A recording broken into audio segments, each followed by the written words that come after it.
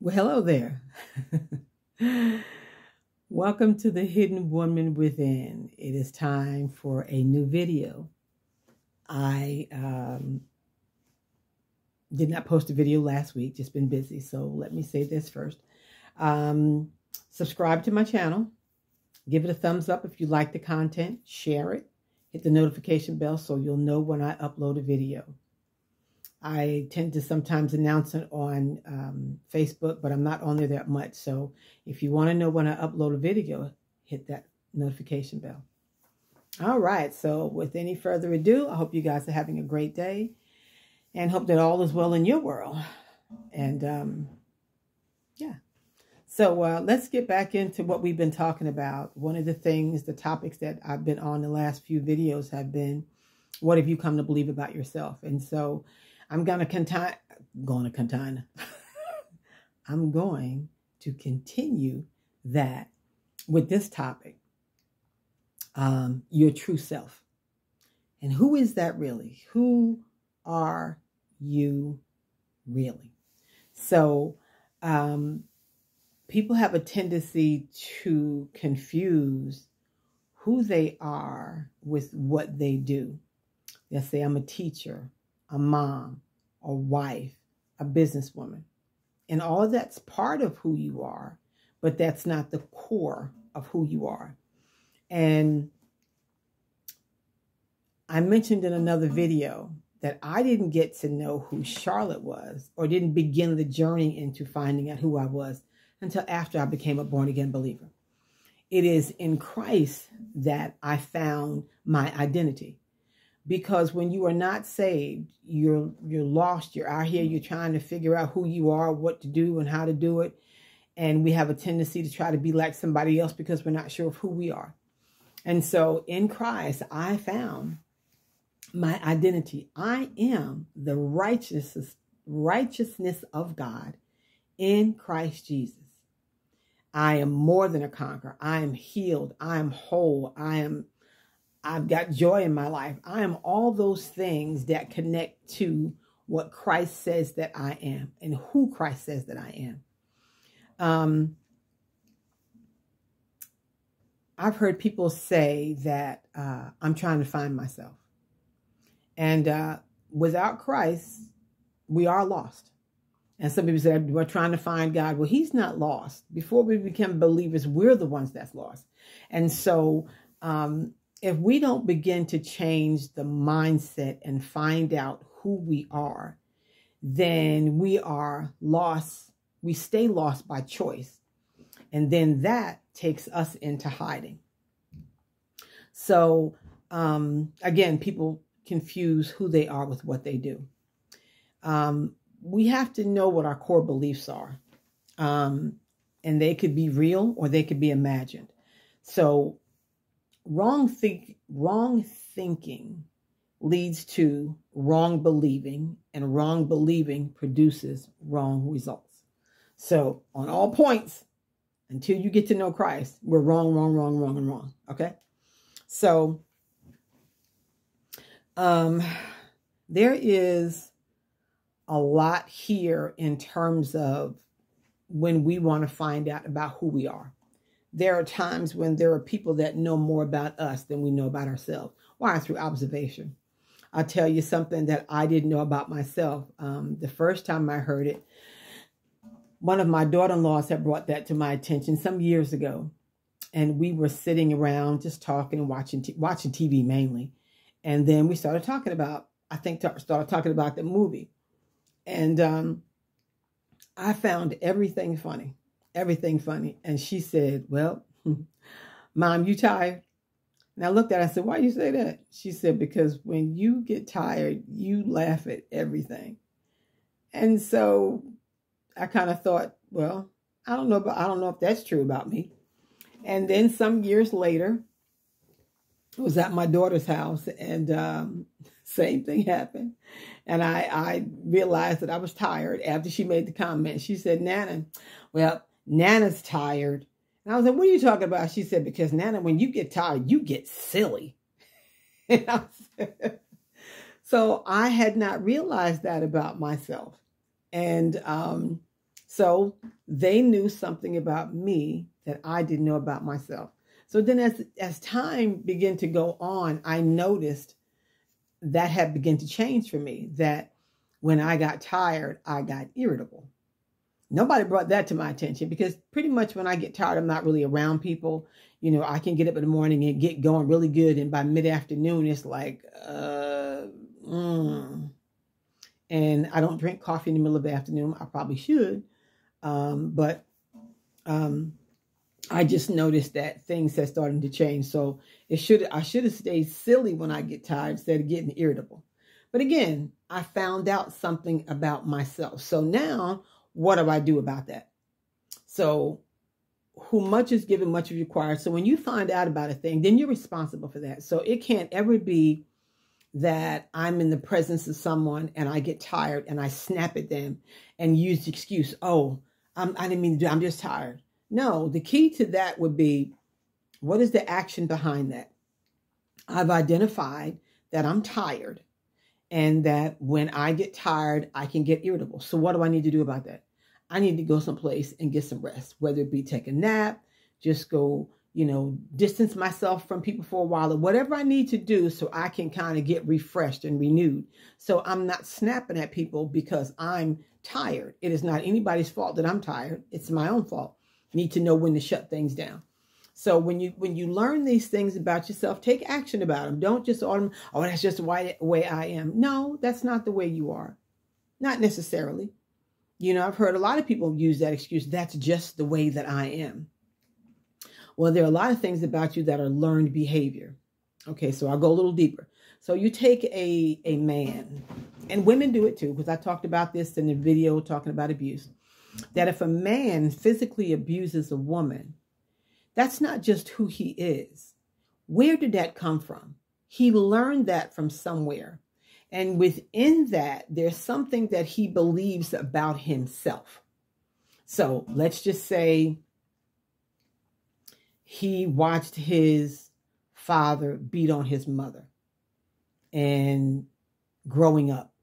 And so in his mind, you know, I'm not sure what he could articulate, but watching that, there's there's a door that's been opened, and so there are things that uh, begin to flood him on the inside. Some things that are being installed that he's not even aware of, um, behind this action that he's seeing. So as he gets older, he's still living in the house with mom and dad, and dad is still fighting mom, and you know, mom hasn't decided to leave or whatever the case might be. So now, this young man grows up and he thinks the way to handle a woman, if she gets out of line, is to probably punch her in the face or backhand her or something like that.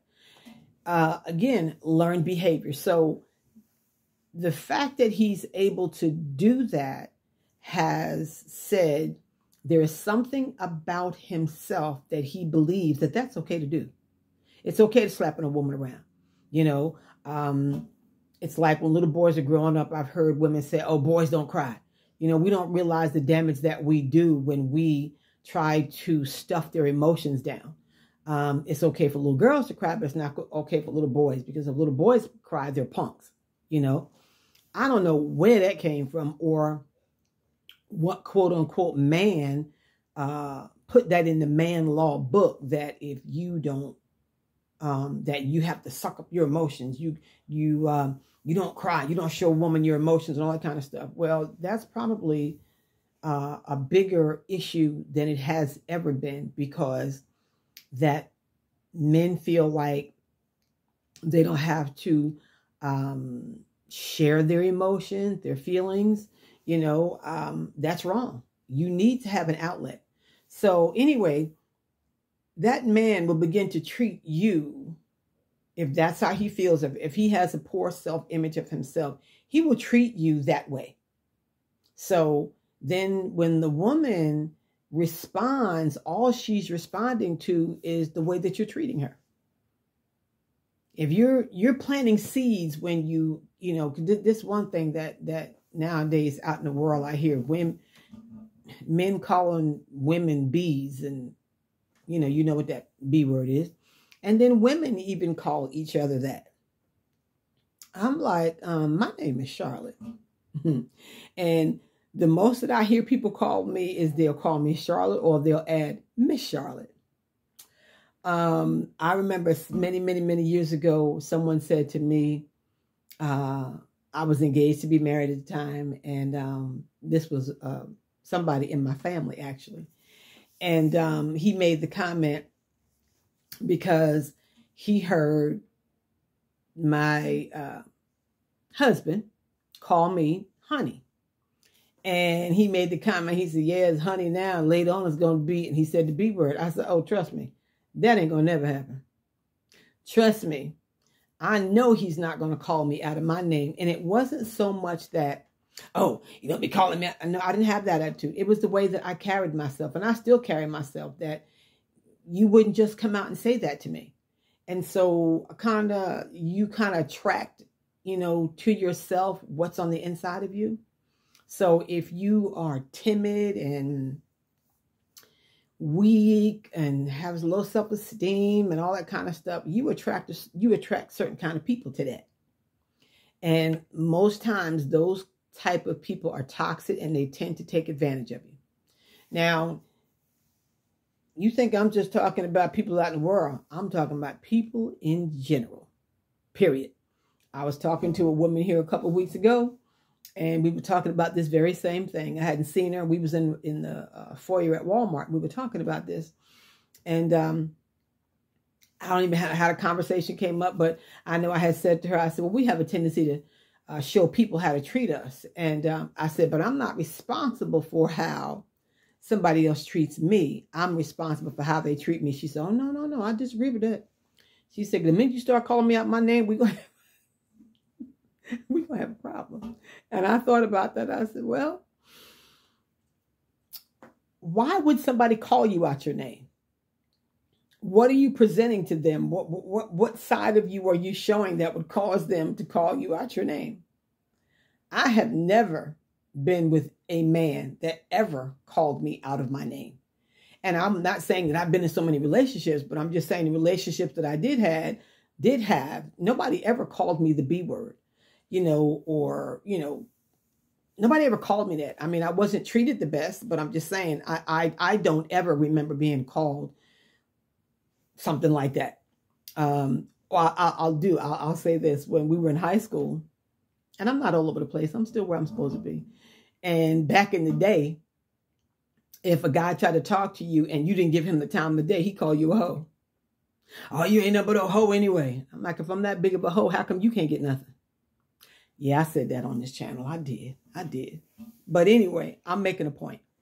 So, um, the deal is, guys, we got to find out who we are. And again, until you become a born again believer, you don't really know who that is. We were all created with this. Um, I'm gonna call it a God hole. There, there is a a empty spot, an empty place in the soul of every human being when they're born that the only one that can fill that is Jesus. He is the only one. And so what do we do? We begin to look for, easiest way to say it, begin to look for him in all the wrong places and all the wrong things. We're looking to fill that void that we have, but we tend to fill it with drugs, alcohol, relationships, all, you know, all kind of crazy stuff.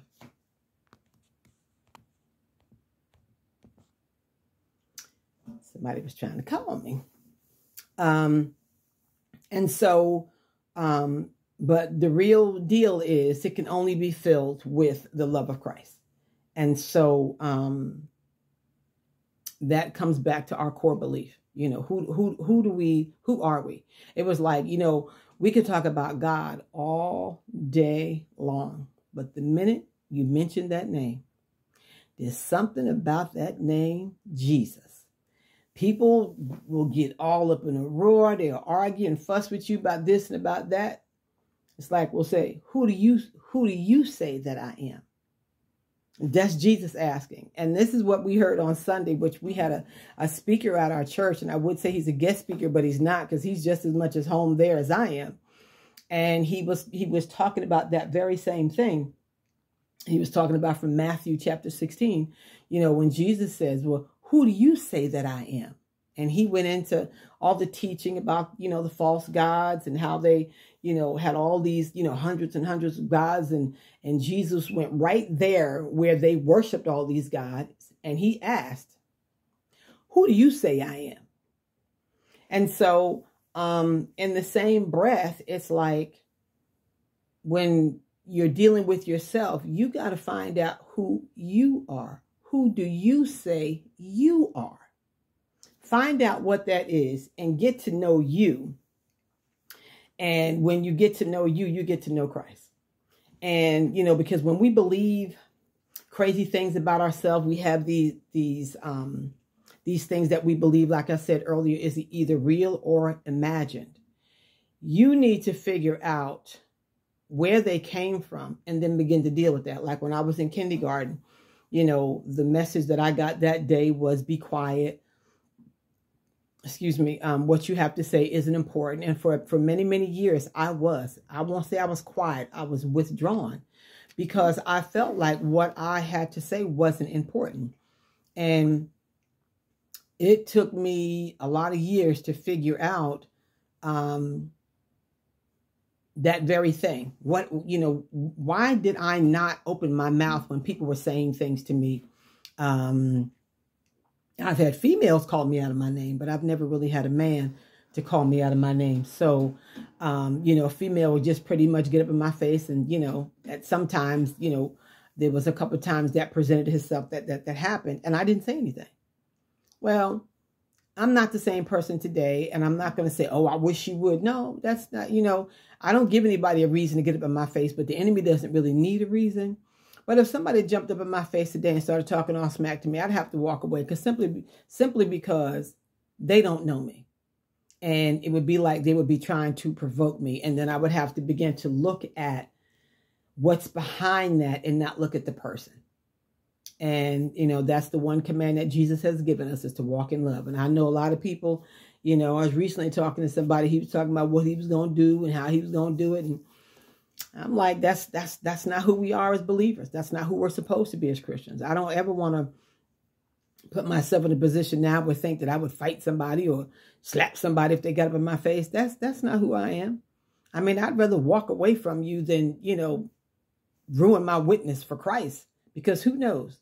One day I might have to minister the word to you. But if I done slap the fire out of you, you don't want to hear anything I have to say. So um, it's it's important. It's important that we begin to take that journey to find out who we are, and um, that journey begins with Christ. So um,